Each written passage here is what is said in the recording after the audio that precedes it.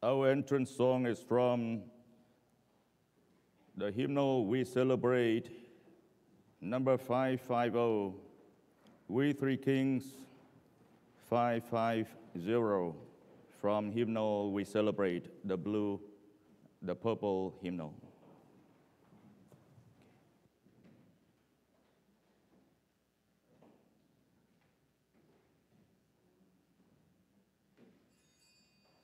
We three kings of Orient are, bearing gifts we traverse afar, field and fountain, moor and mountain, following yonder star.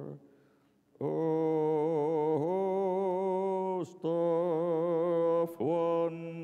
star of night, star with royal beauty bright, who westward leading, still proceeding, guide us to the perfect light. In the name of the Father, and of the Son, and of the Holy Spirit. The Lord be with you. Brothers and sisters, we are offering this Holy Mass to pray for the repose of the soul of Les Uziel. Let us now acknowledge our sins and so prepare ourselves to celebrate the sacred mysteries. Lord Jesus, you raise us to new life.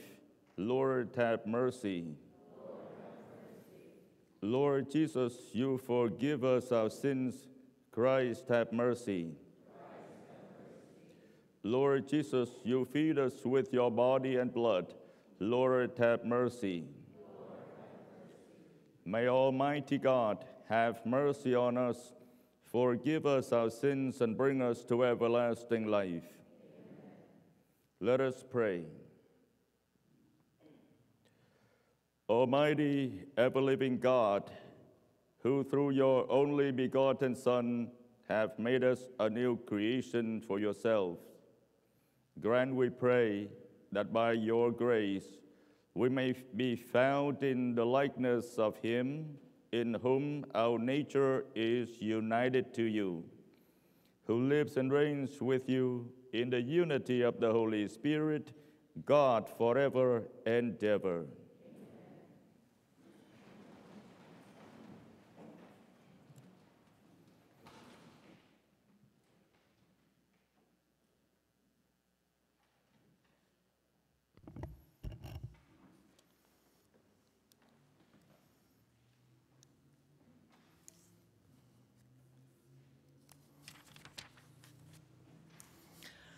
Reading from the first letter of St. John.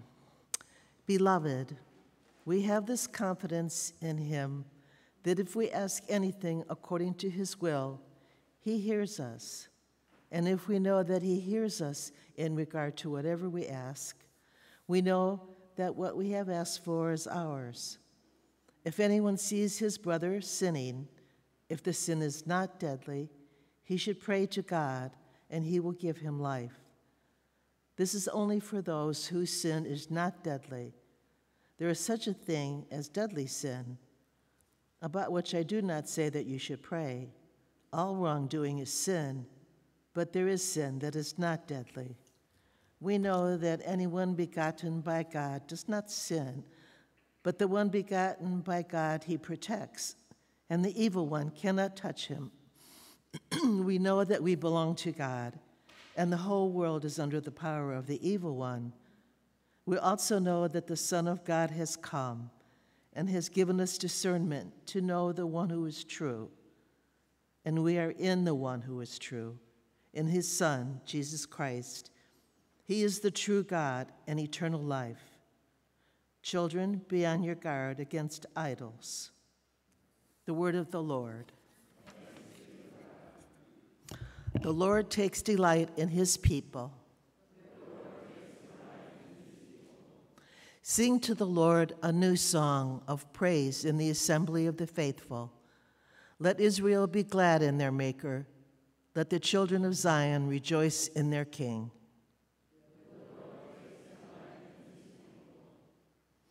Let them praise his name in the festive dance.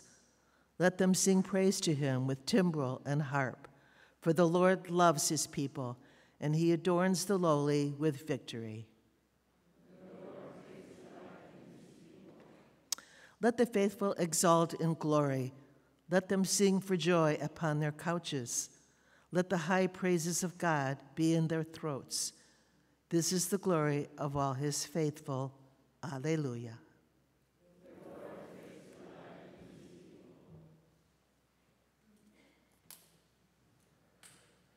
Hallelujah, hallelujah, hallelujah.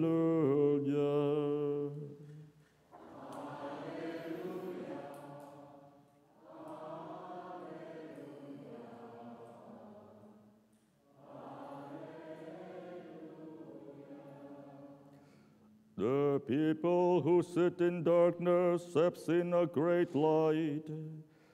Those dwelling in the land overshadowed by death, light has arisen. Hallelujah. Hallelujah. Hallelujah. The Lord be with you.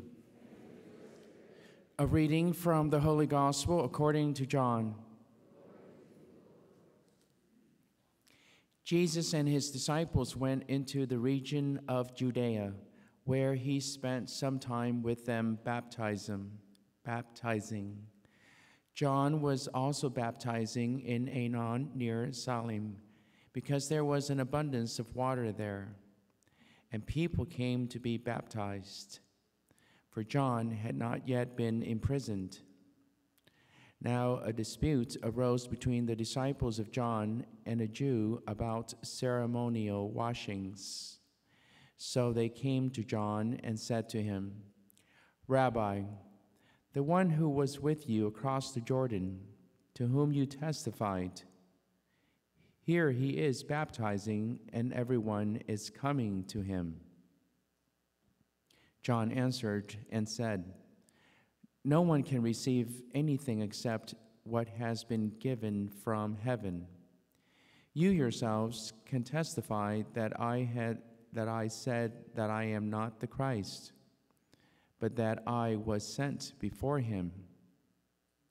The one who has the bride is the bridegroom, the best man who stands and listens for him rejoices greatly at the bridegroom's voice. So this joy of mine has been made complete. He must increase, I must decrease. The Gospel of the Lord.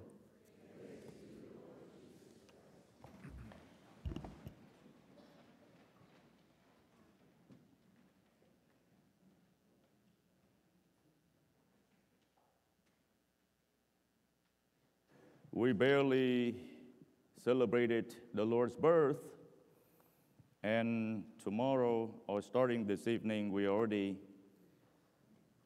about uh, to celebrate the Lord's baptism.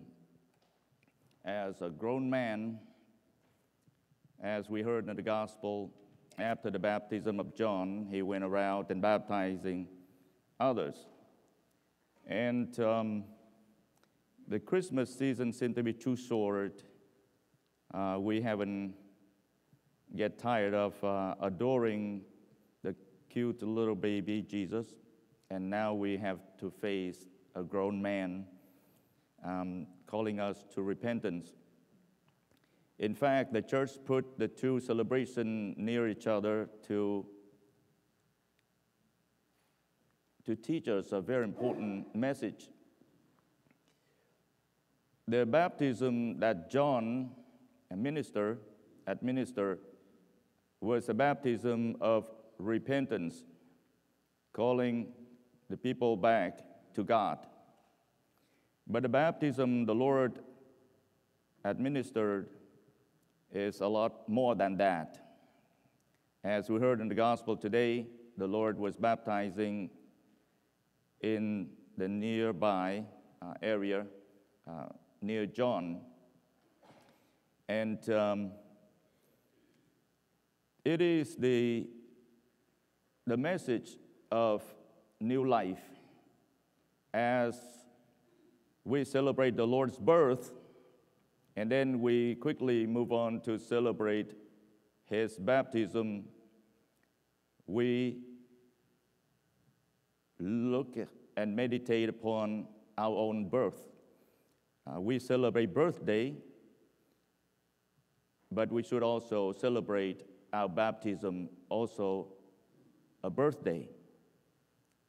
It is um, the life uh, given to us by our parents, but baptism is also a life given to us,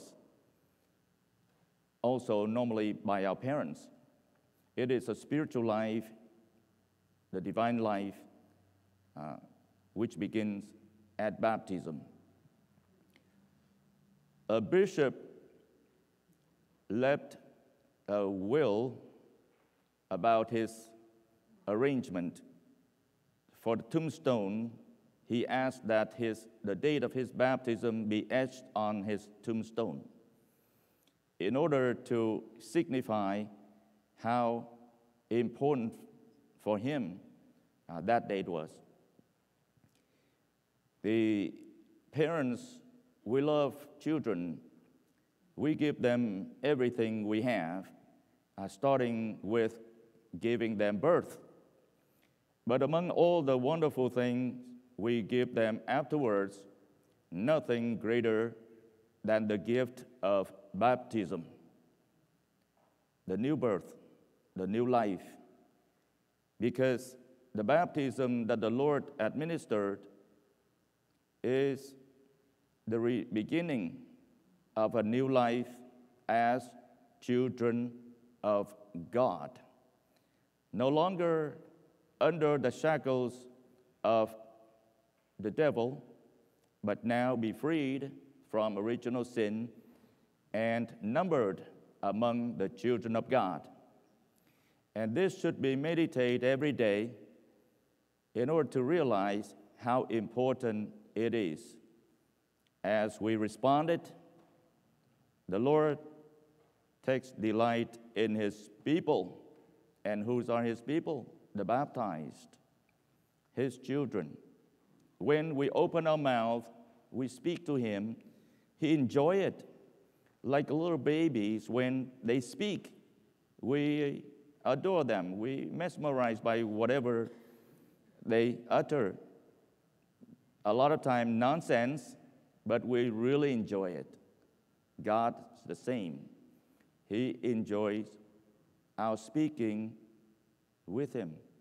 Even our speech is so lousy, but He takes delight in His people. And so, whatever we ask, He will listen attentively. As in the first reading, St. John mentioned that if we ask anything, He will hear us, especially what we ask according to His will. This is a privilege that only the baptized have. We are given all sorts of grace in order to lead a wonderful life, all starting at baptism. And so today we prepare to celebrate the Lord baptism. Let us reflect upon our own baptism in order to understand more fully the privilege and the dignity we receive from God. Can we imagine the Lord Jesus said about someone who was given earthly life? It's better for him not to be born. You remember that statement about Judas. It's wonderful to be given life on earth. But if that life ends up in eternal damnation, then what good is that birth?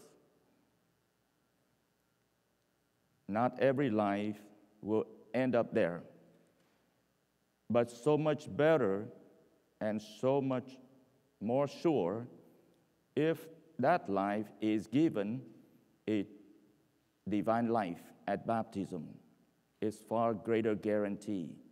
That life is promised to be a wonderful life if it is given the divine life with it at baptism.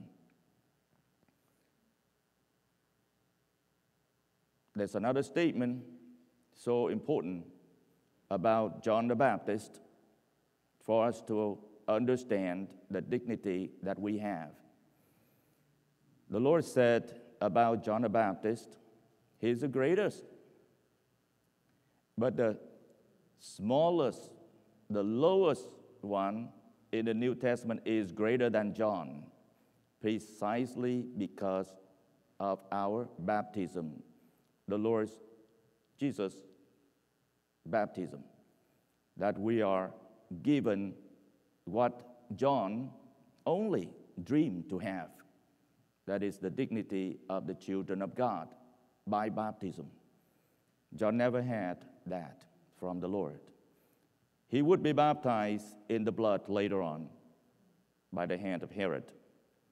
But we are the children of God. We are so privileged. We are so fortunate. And too many people kind of neglect that and forget that. They may come to church three times a year.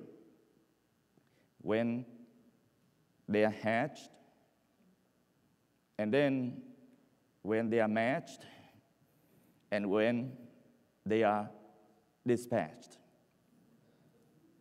So when they get baptized, when they were born, and then we get married, and when they come to church for funeral of their own funeral. And so that is a tragedy, given the great fortune we all receive at baptism, great potential, so many fruits of good work, of charity that would blossom later on from there. And yet, negligence of baptism, negligence of the faith, and the Christian way of life, all of those fruits, all of the potentials would be gone.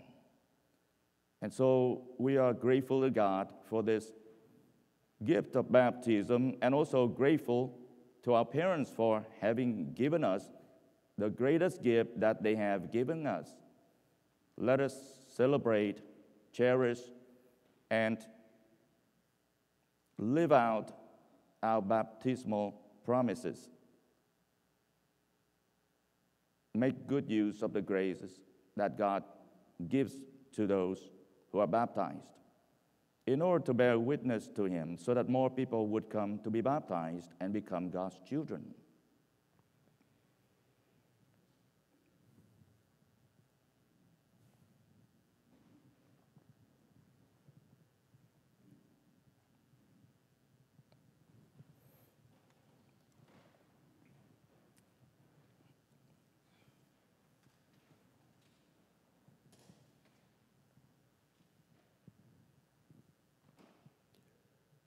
Blessed are you, Lord, God of all creation, for through your goodness we have received the bread we offer you.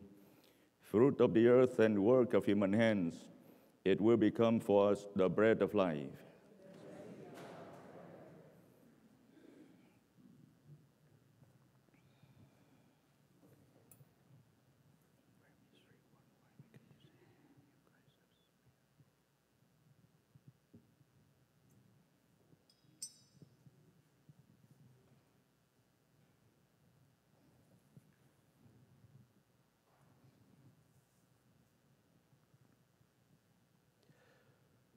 Blessed are you, Lord, God of all creation, for through your goodness we have received the wine we offer you, fruit of the vine and work of human hands. It will become our spiritual drink.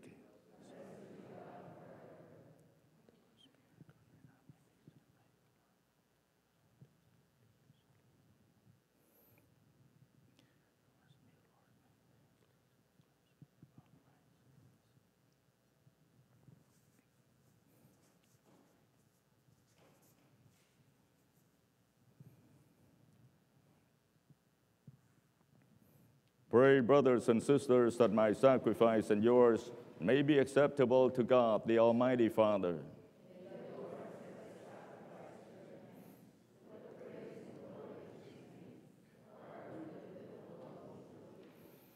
O God, who give us the gift of true prayer and of peace, graciously grant that through his, this offering we may do fitting homage to your divine majesty, and by partaking of the sacred mystery, we may be faithfully united in might and heart through Christ our Lord.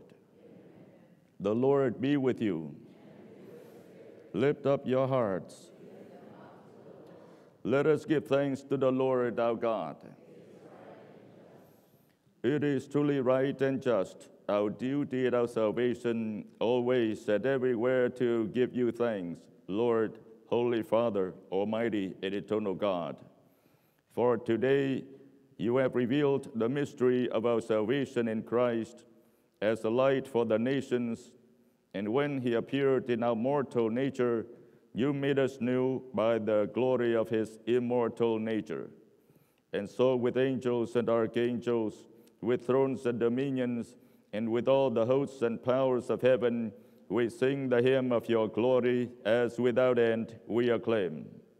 Holy, holy, holy Lord, God of hosts, heaven and earth are full of your glory. Hosanna in the highest.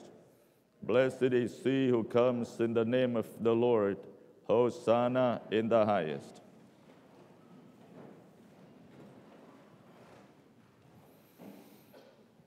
You are indeed holy, O Lord, the fount of all holiness. Make holy, therefore, these gifts, we pray, by sending down your Spirit upon them like the dewfall, so that they may become for us the body and blood of our Lord Jesus Christ. At the time he was betrayed and entered willingly into his passion, he took bread and giving thanks, broke it and gave it to his disciples, saying, Take this, all of you, and eat of it. For this is my body, which will be given up for you.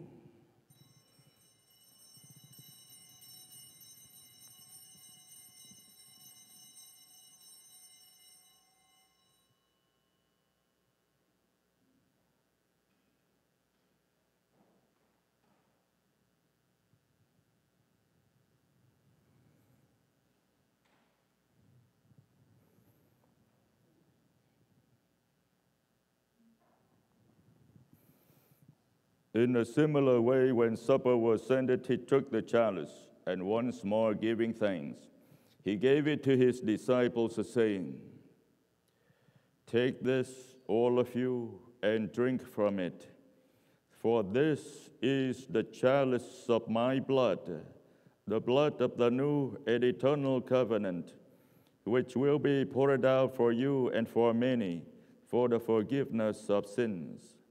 Do this in memory of me.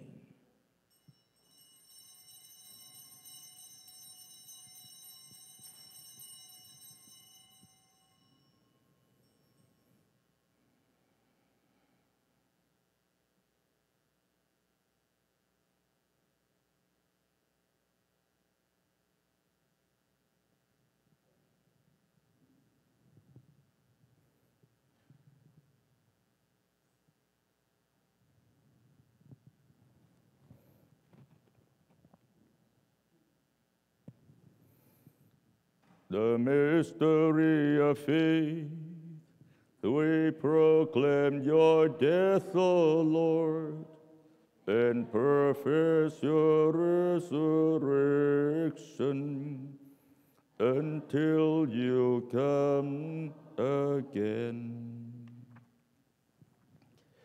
Therefore, as we celebrate the memorial of his death and resurrection, we offer you, Lord, the bread of life and the chalice of salvation, giving thanks that you have held us worthy to be in your presence and minister to you. Humbly we pray that partaking of the body and blood of Christ, we may be gathered into one by the Holy Spirit. Remember, Lord, your church is spread throughout the world and bring her to the fullness of charity. Together with Francis, our Pope, and Kevin, our Bishop, his assistant bishops, and all the clergy. Remember also our brothers and sisters who have fallen asleep in the hope of the resurrection, and all who have died in your mercy. Welcome them into the light of your face.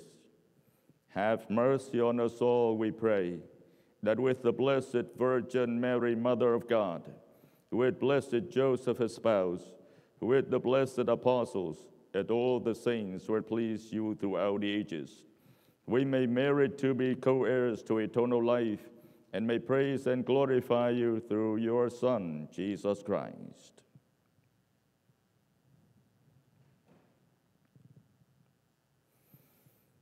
Through him and with him and in him, O God Almighty Father, in the unity of the Holy Spirit, all glory and honor is yours forever and ever. Amen.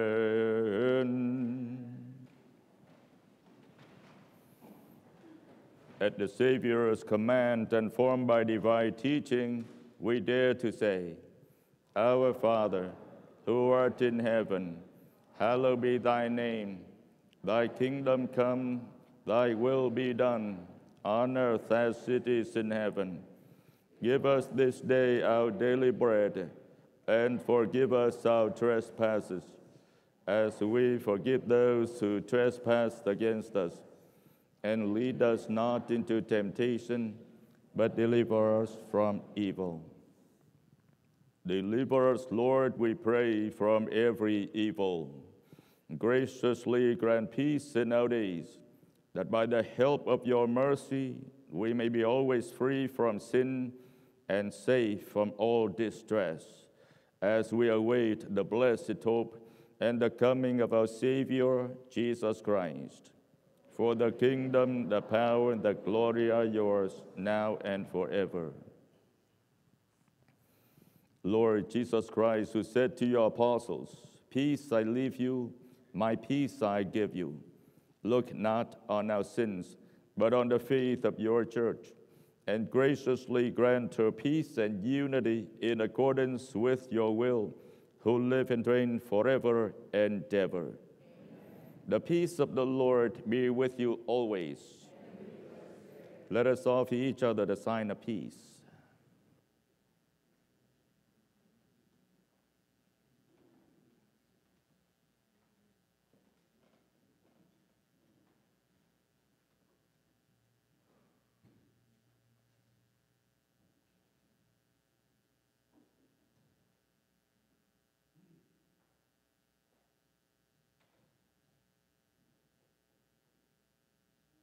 Lamb of God, you take away the sins of the world. Have mercy on us.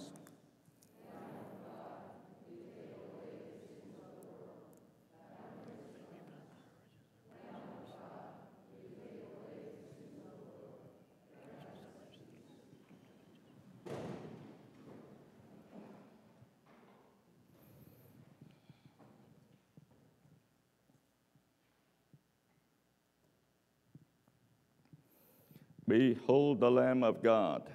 Behold him who takes away the sins of the world. Blessed are those called to the supper of the Lamb. Lord, I am not worthy that you should enter under my roof, but only say the word, and my soul shall be healed.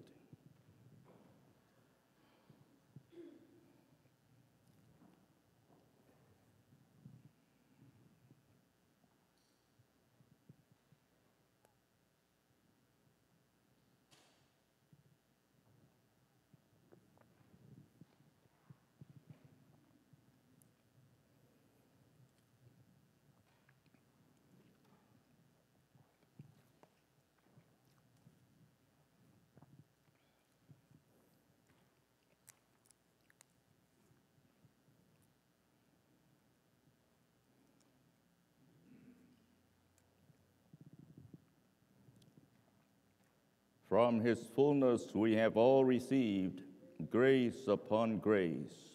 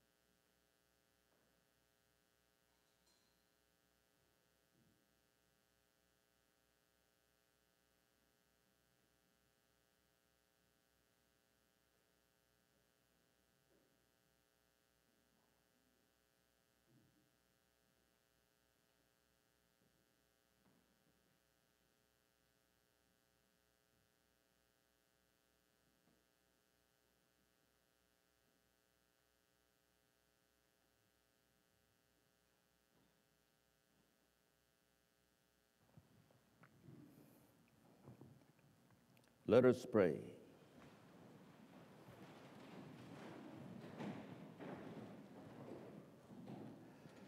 May your people, Lord, whom you guide and sustain in many ways, experience both now and in the future the remedies which you bestow, that with the needed solace of things that pass away, they may strive with ever deepened trust for things eternal through Christ our Lord. The Lord be with you.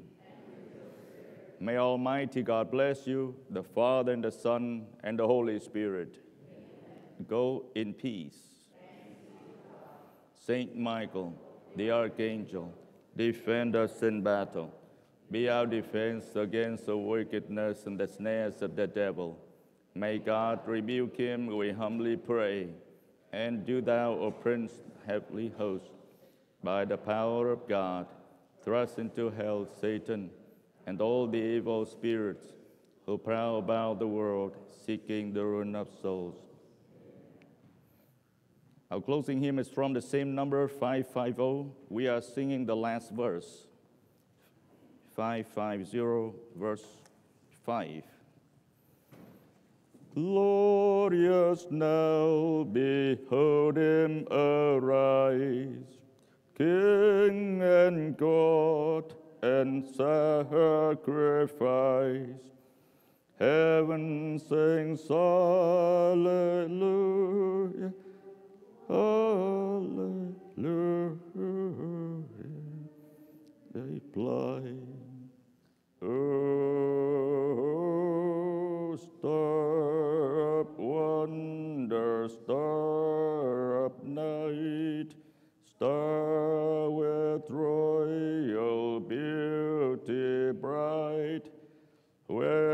westward reading, still proceeding, guide us to the perfect light.